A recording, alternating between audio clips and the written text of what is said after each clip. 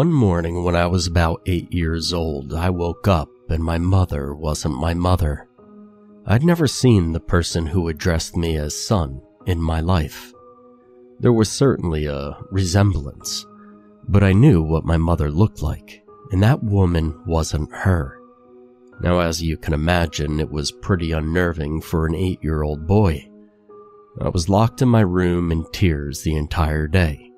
Sure enough, I cried myself to sleep, and I stayed asleep the entire night.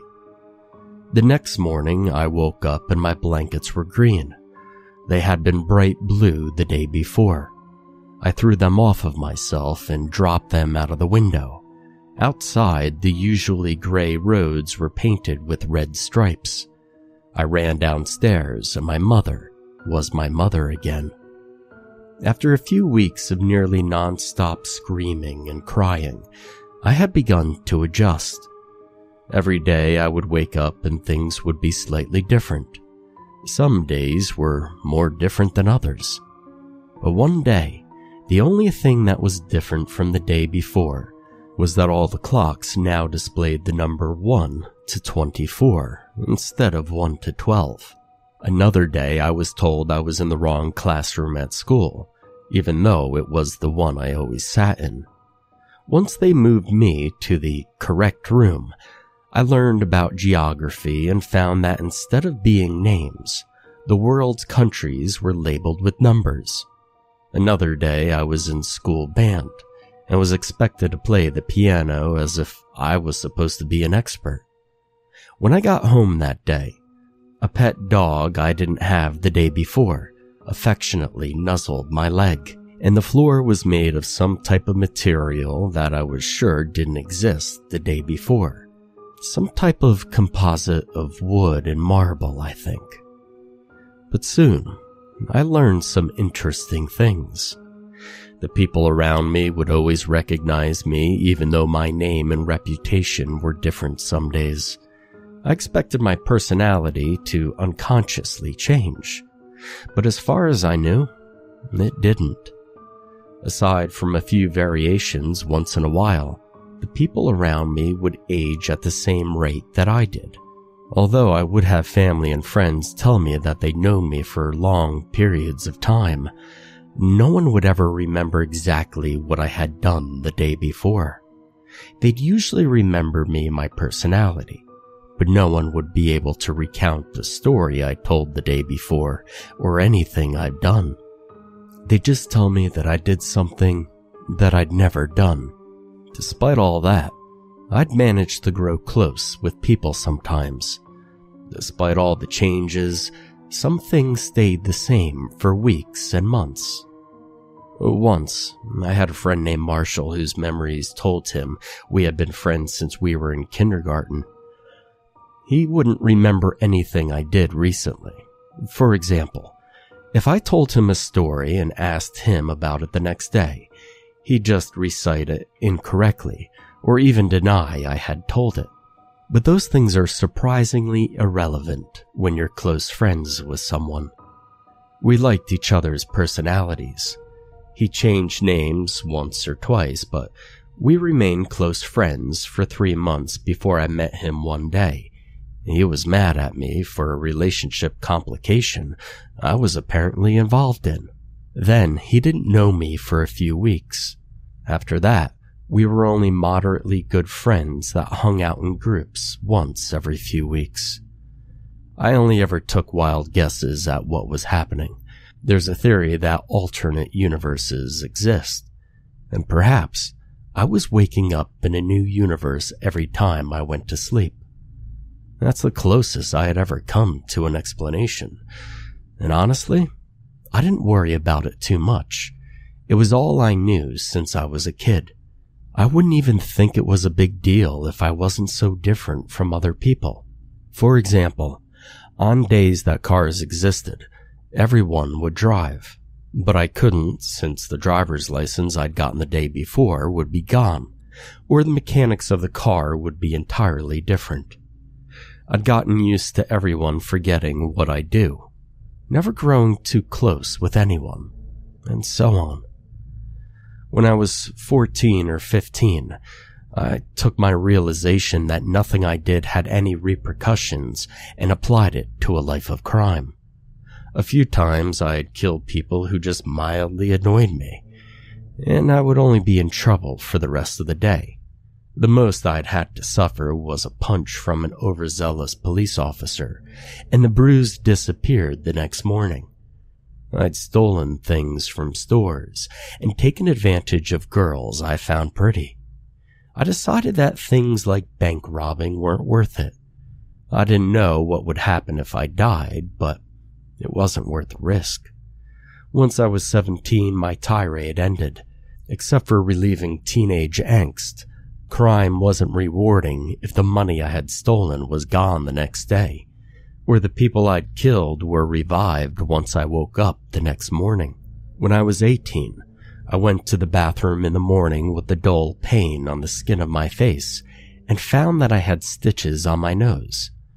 I asked the two men in the kitchen, who I assume were the day's parents, and although surprised I didn't know, they told me about the beating I had received from some guy at school the day before. For the rest of that day, I picked at the stitches and used ice to deal with the pain. When I woke up the next day, the stitches and the pain were gone. Once, when I was 23, I woke up one morning in a hospital bed. I wasn't able to comprehend what was happening, but I realized the next day that I had been in a coma. I could feel my limbs and body, but it was like every muscle in my body was gone. It was terrifying. I couldn't move or speak. I didn't know any of the people that paced back and forth, and I thought I was dead. Once, when I was 25, I woke up in a wheelchair. Except for my right arm, all my limbs were gone. Sensations burst up all of my stumps at once. Phantom pains from having never experienced the feeling before. It's impossible to explain. The feeling in your shoulder when you wiggle your fingers is minute, but when it's all you feel, it's excruciating. If my limbs were still there, they would have been violently thrashing in pain. The rest of that day was full of visits from nurses and a man whose skin color was not my own, who claimed to be my father, cursing and yelling at me for something in a language that I didn't understand. I think it involved my mother. After that day, falling asleep became difficult. I had attempted keeping a journal to record how things were, so I'd know exactly what had changed. But the journal always disappeared or turned into a grocery list the next morning. The fear of what I was going to wake up to eventually turned into terrible anxiety. I wouldn't be able to tell if my loved ones would exist when I woke up, or if they'd know me, or even if I looked like myself. I pulled out my phone and called whoever was on my friends list that day to try and tell her about my situation. But she thought I was joking and hung up when I started screaming and crying. If I was listening to my own story, well, I'd wonder why I hadn't killed myself at that point. It seems strange, but I did have a lot to live for. In the month that I had with her, I'd fallen in love with a woman named Emma, Tef, or 5746, depending on the day, who told me that she knew me since high school and that I'd been married to for a few months. It seems strange to love someone I had no memories with, but the fact was irrelevant to us. She didn't bring up our memories too often, and our personalities lit up together. A week ago, I woke up and we were only roommates. I had to wake up to a universe in which we were in love again. I had attempted to see what would happen if I didn't sleep. On a relatively good day when Emma was blind, but in good terms with me, and I had a reputation as the host of a famous cooking show, I just tried my hardest to stay awake the entire night. It was a worthwhile idea, but I just went unconscious halfway through the night. When I woke, Emma's name was Clarice, and she had the job of reciting the time out loud on television, since written numbers and letters didn't exist. When I woke up the next morning, I was arrested for leaving my house. For some reason, the government was monitoring people through cameras in our rooms, and we weren't allowed to leave. Police officers in red leather uniforms and huge rifles on their belts escorted me back to my house in front of my trembling, terrified parents and sister. I don't want to think about what would happen if I'd gotten further from my house or fought back. And then one morning I woke up and my bedroom was devoid of any carpet or ornamentation. The room had a terrible smell due to the piles of feces and urine in the corner, presumably my own. There was a two meter long chain attached to the bed so that I couldn't reach the door. The pain in my stomach rendered me unable to move for the first 30 minutes after waking up. The window was covered up so I couldn't see anything. After what I guessed was a few hours, a burly woman wearing a black robe and fencing mask opened the door and threw a bag with a hamburger onto the floor. She stared at me for a few seconds. I couldn't see her face, but I could sense the venom seeping out from under the mask. With that, she shut the door and I ate the only meal I got that day. That night, I couldn't sleep because I couldn't decide when to stop praying that the next day would take me away. Three days ago, I woke up in the afternoon and I was tied to a chair. I didn't recognize the room that I was in, but it could have been my home. The ropes that tied me to the chair weren't made of anything that I could identify. Some type of pliable rock, I assumed. I couldn't stand up since wherever I was, Nothing could be lifted up. Instead, all of the furniture was attached to the floor and couldn't be moved. Doors were obsolete as well. And when the man with the animal mask came in, he came through a hatch in the floor. The man's mask was white and made to look like an animal that I didn't recognize. Something resembling an animal that only existed some days called a meat-off except with some sort of geometric exoskeleton. He didn't say a word before pressing a button on his mask. There wasn't any collar around my neck, but immediately became hard to breathe. No air could go through my throat. He kept the button pressed for minutes until my lungs burned and I couldn't even scream for air. I was about to pass out when he let go of the button I could breathe again and 30 seconds later, he pressed it. By the end of the day, I was in tears. He tortured me like that the entire day. All it would take was for him to press that button for a little longer so that I could pass out and wake up somewhere else. But he never did. By the time he left, it was impossible to breathe silently. I heaved for air and gasped in pain with every breath. The air felt like a fist being shoved in my throat, and my lungs felt like they were being ripped apart. I didn't even have enough left in me to produce tears. I prayed and prayed to be somewhere else when I woke up with whatever thoughts I still had.